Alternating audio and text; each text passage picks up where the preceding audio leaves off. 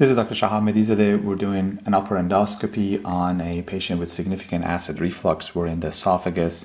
As you can see, there is significant esophagitis. The areas that are red have lost the overlying mucosa, they're ulcerated. We can see the hiatal hernia. The lower esophageal sphincter is widely open. There's about a two centimeter hiatal hernia, and this is where the esophagus joins the stomach. We're entering the stomach, and you can see the rugae or folds of the stomach. Going to go back into the esophagus. Uh, this is the hiatal hernia, and again, the lower part of esophagus that's uh, significantly ulcerated.